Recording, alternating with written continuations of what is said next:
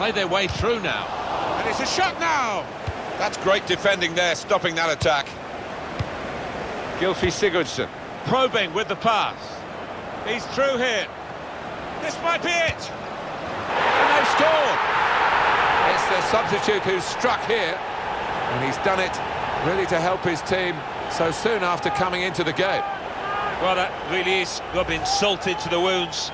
It's been a one-horse race out there today.